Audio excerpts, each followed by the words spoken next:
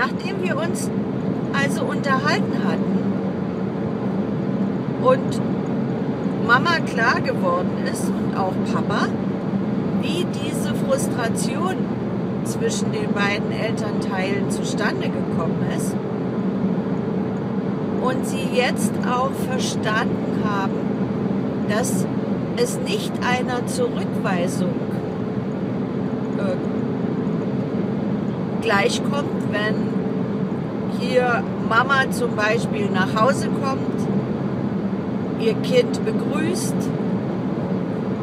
mit ihm auch rumkuschelt und drückt fünf Minuten lang und dann sagt, so, jetzt möchte ich mit dem Papa reden. Und wenn du magst, kannst du mitkommen, aber du kannst auch in der Zwischenzeit spielen gehen. Und nach dem Abendbrot gehe ich mit dir nochmal spielen und dann gehst du ins Bett. Oder ich lese dir eine Geschichte vor und dann schläfst du.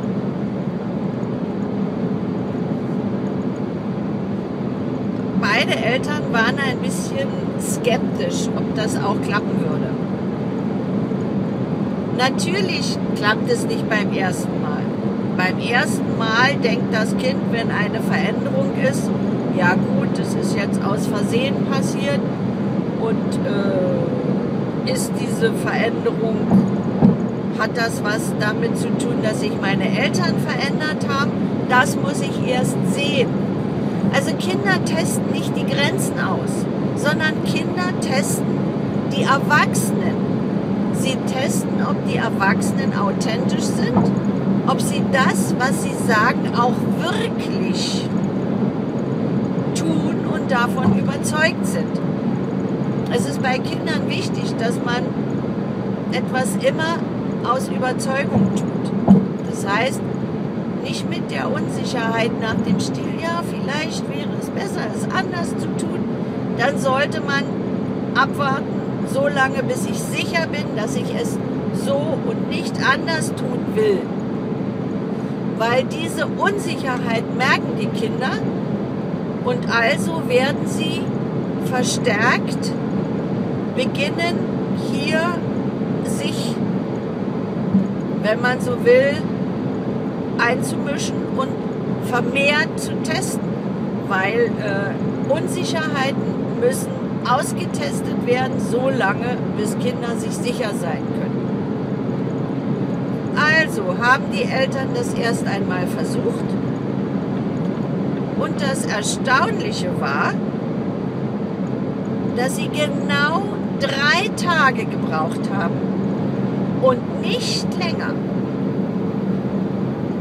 Hat sich der Junge am ersten Tag und am zweiten Tag noch zwischen die Eltern gesetzt, um zuzuhören. Die Eltern haben gar nichts